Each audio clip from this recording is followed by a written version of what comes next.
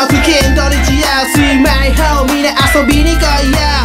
一旦忘れてお仕事パリピになりたい年頃。年頃月下水木金土日休みマイホームで遊びに来いや。うちで極上なおもてなしをするから坂も上カピパ今日は噂の高橋バーに大泉学園駅から乱年マスターはいつも酔っ払い。彼の辞書にはないらしい。休館日早い。うまい。メニューも多い。自宅バーレベル超えたて料理。面白いだけじゃね彼の愛に。来た人全てがリピーターに。月火水木金土日曜誰もが求めてる非日常。明日忘れて今を生きよう。高橋バーでパリピしよう。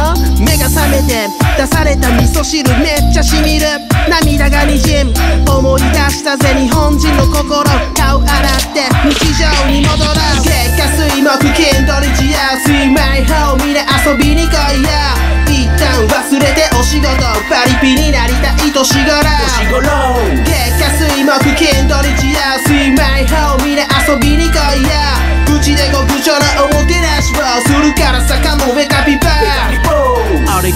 月日は6年経ちこちらスタンバイあけぽのバッシ。ュ今は住んでない堀北真希でも She's in my house still alive 毎度マイホーム来る前にゴーヤ愛嬌たっぷりのホルモン焼きゴーちゃん。態度でかいやつ即できたにやん。大丈夫。なんだかんだで人情を味わう。やはりこの2軒はしごしてからようやく着く。マイホーム。つまみはいらない準備済み。まあ待っとけよ捨ててからのお楽しみ。酔っ払いの面隠せない。またコンビニにより缶チューハイではいカいらない外れなしさあ見かせ返し匠名パーティー。月下水木金土日やスイマイホームで遊びに来いや。一旦忘れてお仕事パリピになりたい年頃。